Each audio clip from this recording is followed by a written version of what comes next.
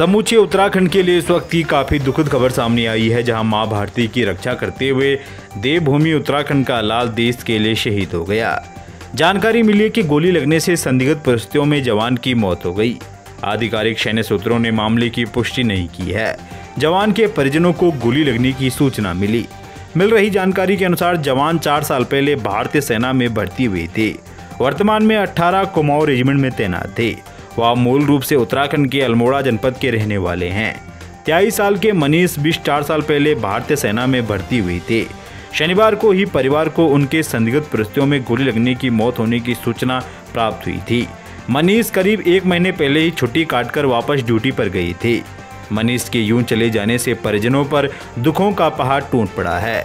सूत्रों के अनुसार दोपहर के समय सेना की 18 कमौज रेजिमेंट में तैनात सिपाही मनीष बिष्ट के सिर में गोली लग गई।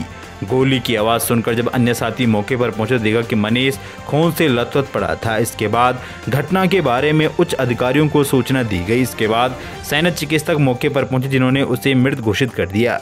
सैन्य अधिकारियों ने पुलिस को सूचना देने के बाद पुलिस कार्रवाई की जा रही है। इस घटना से परिजनों पर दुखों का पहाड़ टूट पड़ा।